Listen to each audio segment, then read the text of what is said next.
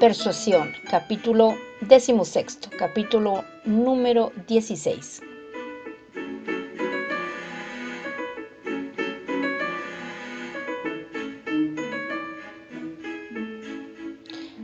Había algo que Ana, al volver entre los suyos, hubiera preferido saber, incluso más que si Mr. Elliot estaba enamorado de Isabel, y era si su padre lo estaría de Mrs. Clay.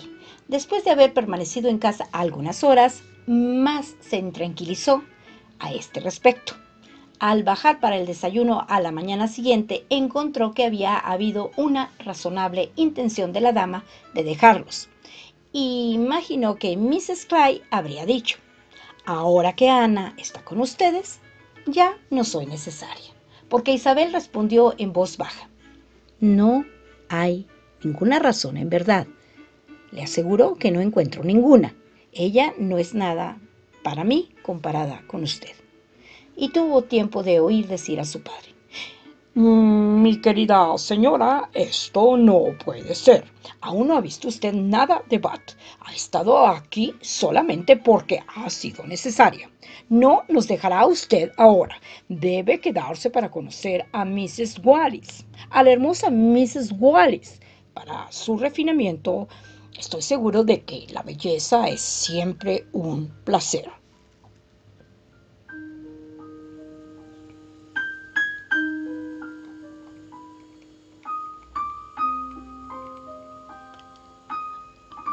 Habló con tanto entusiasmo que Ana no se sorprendió de que Mrs. Clay evitase la mirada de ella y de su hermana.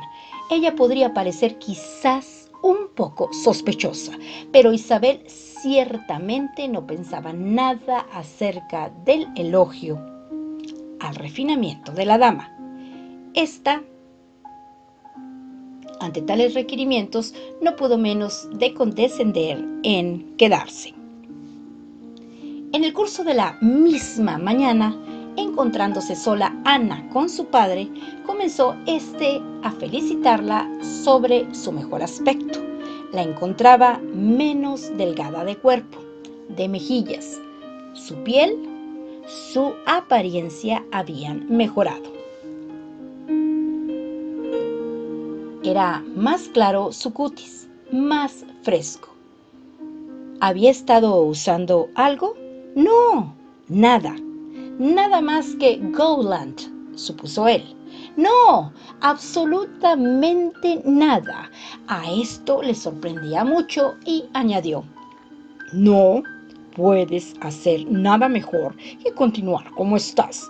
Estás sumamente bien, pero te recomiendo el uso de Gowland constantemente durante los meses de primavera. Mrs. Clay lo ha estado usando bajo mi recomendación y ya ves cuánto ha mejorado. Se han borrado todas sus pecas.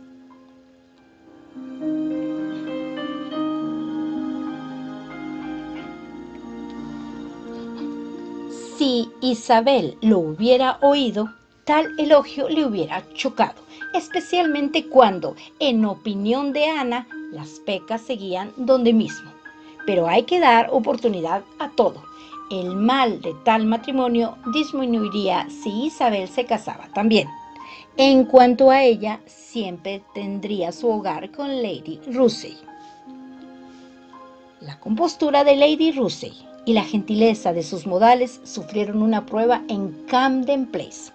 La visita de Mrs. Clay gozando de tanto favor y de Ana tan abandonada era una provocación interminable para ella y esto la molestaba tanto cuando no se encontraba allí, como puede sentirse molestada una persona que en Bath bebe el agua del lugar.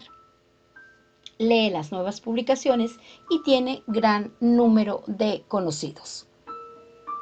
Cuando conoció a Mr. Elliot se volvió más caritativa o más indiferente hacia los otros. Los modales de este fueron una recomendación inmediata y conversando con él encontró bien pronto lo sólido debajo de lo superficial, por lo que se sintió inclinada a exclamar, según dijo a Ana, ¿puede ser este Mr. Elliot?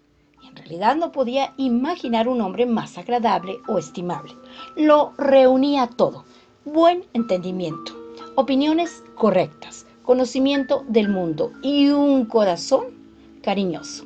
Tenía fuertes sentimientos de unión y honor familiares, sin ninguna debilidad u orgullo. Vivía con la liberalidad de un hombre de fortuna, pero sin dilapidar.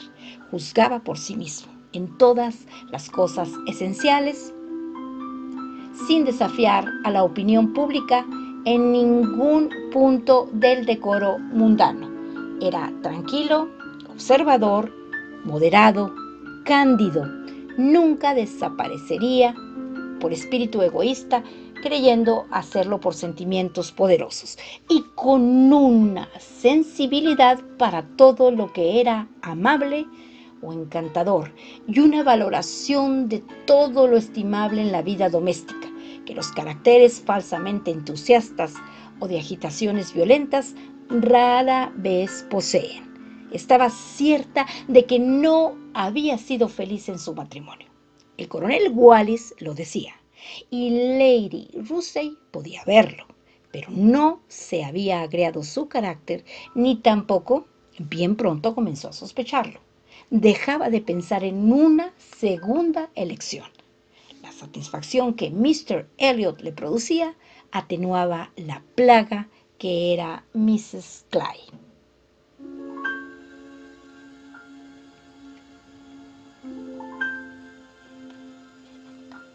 Hacía ya algunos años que Ana había aprendido que ella y su excelente amiga podían discrepar. Por consiguiente, no la sorprendió que Lady Russell no encontrase nada sospechoso o inconsistente, nada detrás de los motivos que parecían a la vista en el gran deseo de reconciliación de Mr. Elliot. Lady Russell estimaba como la cosa más natural del mundo que en la madurez de su vida considerara a Mr. Elliot lo más recomendable y deseable reconciliarse con la cabeza de la familia. Era lo natural al andar del tiempo en una cabeza clara y que solo había errado durante su juventud. Ana, sin embargo, sonreía y al fin mencionó a Isabel. Lady Russell escuchó, miró y contestó solamente. Isabel. Bien, el tiempo lo dirá.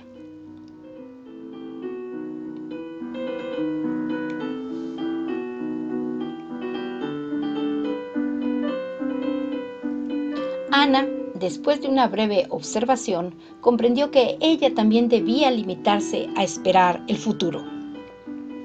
Nada podía juzgar por el momento.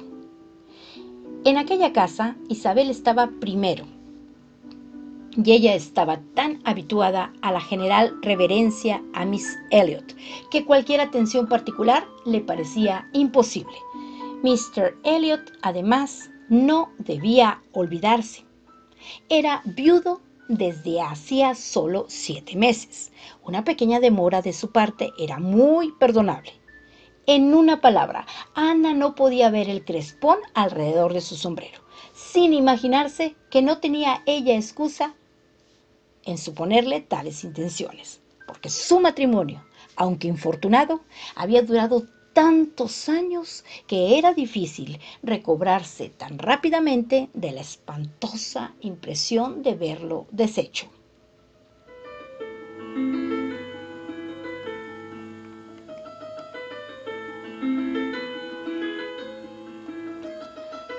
Como fuere, que todo aquello terminase, no cabía duda de que Mr. Elliot era la persona más agradable de las que conocían en Bath. No veía a nadie igual a él y era una gran cosa de vez en cuando conversar acerca de Lyme, lugar que parecía tener casi más deseos de ver nueva y más extensamente que ella. Comentaron los detalles de su primer encuentro varias veces. Él dio a entender que la había mirado con interés. Ella lo recordaba bien y recordaba además la mirada de una tercera persona.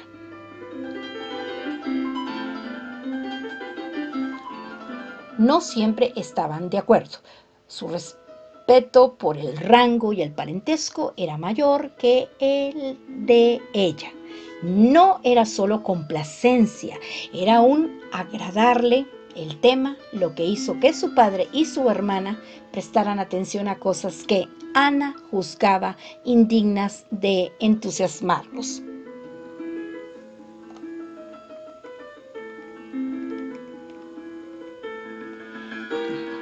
El diario matutino de Bath anunció una mañana la llegada de la viscondesa viuda de Dalry Simple, de su hija,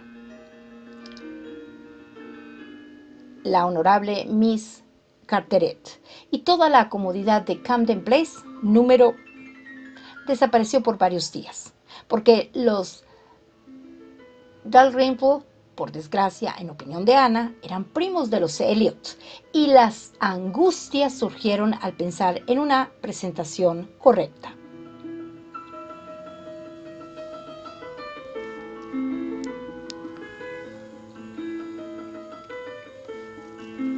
Ana no había visto antes a su padre y a su hermana en contacto con la nobleza y se descorazonó un poco. Había pensado mejor acerca de la idea que ellos tenían de su propia situación en la vida y sintió un deseo que jamás hubiera sospechado que podría llegar a tener.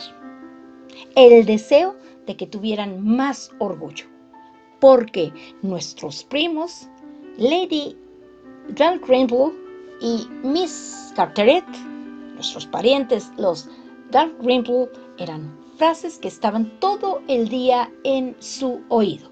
Sir Walter había estado una vez en compañía del difunto Visconde, pero jamás había encontrado a la familia.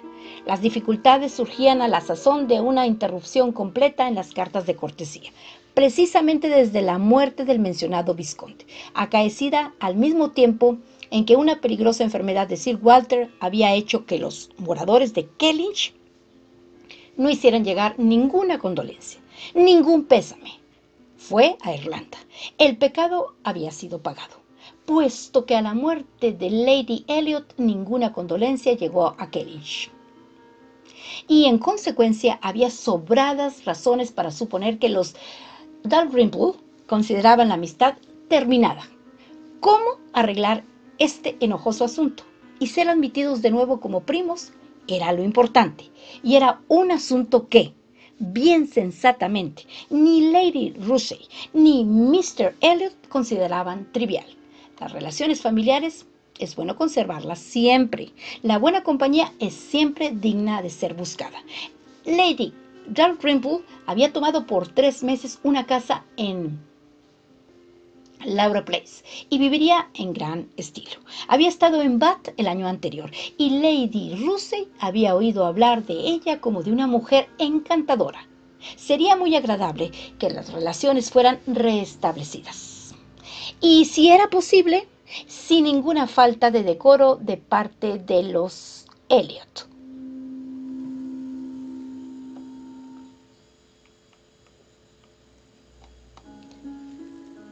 Sir Walter, sin embargo, prefirió valerse de sus propios procedimientos y finalmente escribió dando una amplia explicación y expresando su pesar a su honorable prima.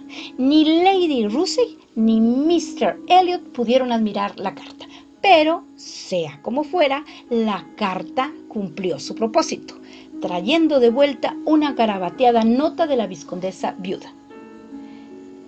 Tendría mucho placer y honor en conocerlos. Los afanes del asunto habían terminado y sus dulzuras comenzaban.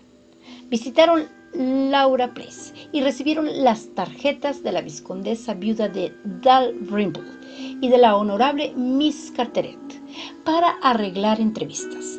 Y nuestros primos en Laura Place, nuestros parientes Lady Dalrymple y Miss Carteret eran el tema obligado de todos los comentarios. Ana estaba avergonzada. Aunque Lady Dalrymple y su hija hubieran sido en extremo agradables, se hubiera sentido avergonzada de la agitación que creaban. Pero estas no valían gran cosa. No tenían superioridad de modales, de dotes o de entendimiento. Lady Dalrymple había adquirido la fama de una mujer encantadora, porque tenía una sonrisa amable y era cortés con todo el mundo. Miss Carteret, de quien podía decirse aún menos, era tan malcarada y desagradable que no hubiera sido jamás recibida en Camden Place de no haber sido por su alcurnia. Lady Russell confesó que había esperado algo más. No obstante, era una relación digna. Cuando Ana se atrevió a dar su opinión a Mr. Elliot, él convino que por sí mismas no valían demasiado, pero afirmó que como para trato familiar, como buena compañía, para aquellos que buscan tener personas gratas alrededor, valían. Ana sonrió y dijo,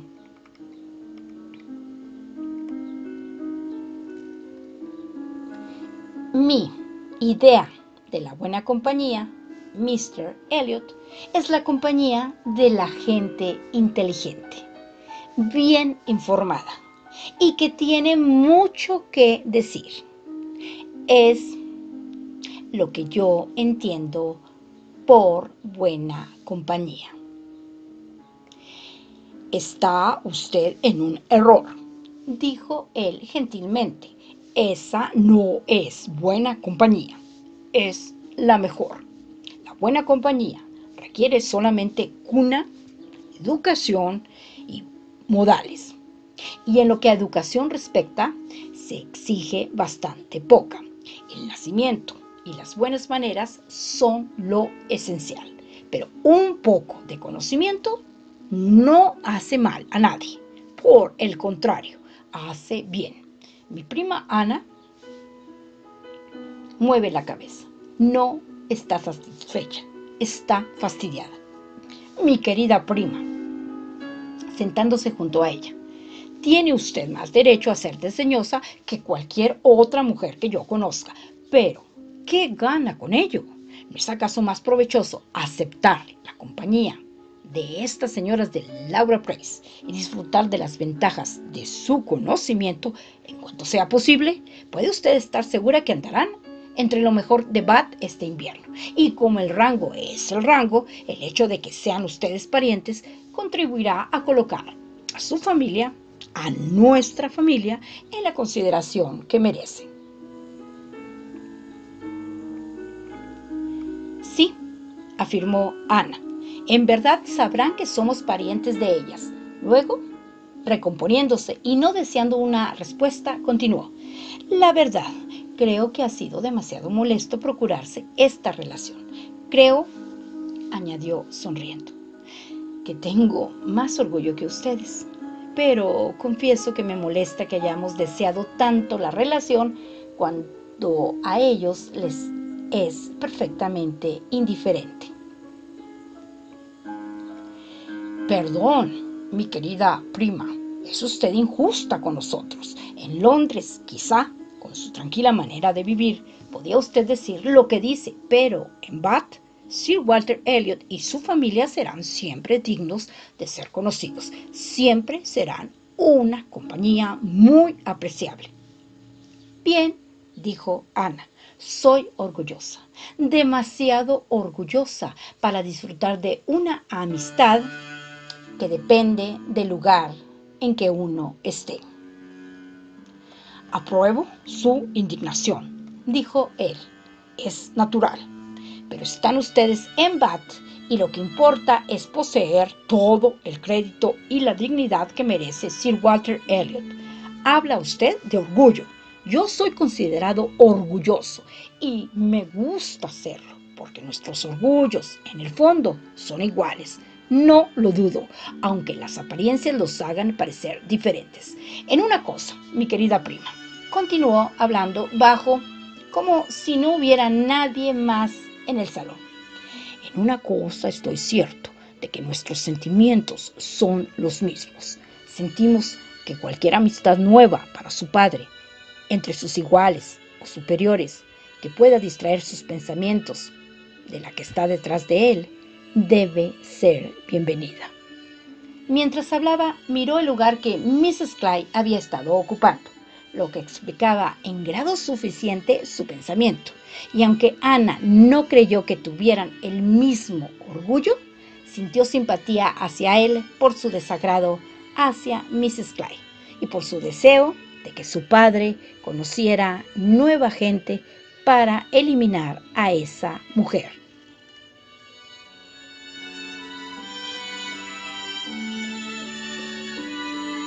Aquí termina el capítulo decimosexto o capítulo número 16 del libro que se titula Persuasión, cuya autora es Jane Austen.